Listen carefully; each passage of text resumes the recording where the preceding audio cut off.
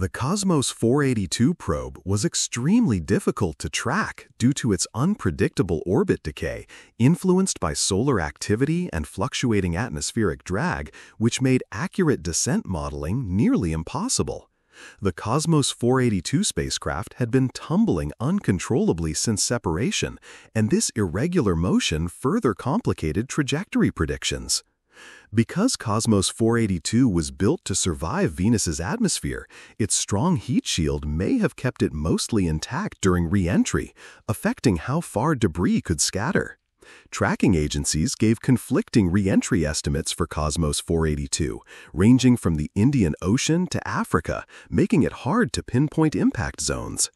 The Kosmos 482 case highlights global challenges in tracking old, durable space debris and underscores the urgent need for better international coordination in debris management and re-entry forecasting.